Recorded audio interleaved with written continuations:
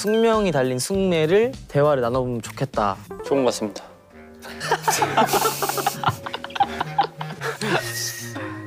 좋은 것 같습니다. 네. 태어나서요. 이거 솔직히 지금 말합시다. 본인이 뽑은, 본인 뽑은 사람. 손. 나 없어. 나 안 된다 그랬어. 맞아. 아, 진짜요? 어, 된다. 했다는 거네. 아, 나도 했, 헬, 하려고 했는데 안 된다 했어. 성훈 형인데? 자, 성훈. 주관적으로 가장 착해서. 아, 아니야. 성훈 형 만든 것 같습니다.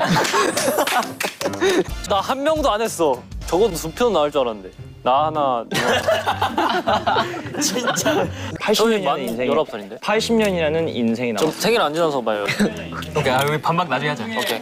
혼잣말, 혼잣말. 저 혼잣말 좀 해요. 혼잣말이 좀 많으셔. 집중!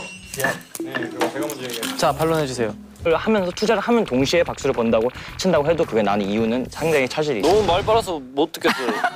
맞아요. 사람 1억 갖고 투자 잘, 잘 해봤자 어차피 망해요. 근데 어, 그, 이거 어떻게 알아? 맞아요. 그럼 투자에서 성공한다고. 이거 위험한 발언이에요. 지금 이거 위험한 발언이에요. 제가 봤을 때 망한 아 근데 진짜 이거 이점이 없는데 어떡하냐 나. 이번 토론 때 이러고 있을게요. 망했다. 이긴 팀은 A 팀. 오, 이연승. 아니 왜? 너가 이겼는데 왜라니? 아니 왜? 그러니까 이유를 묻는 거야. 뭔가 아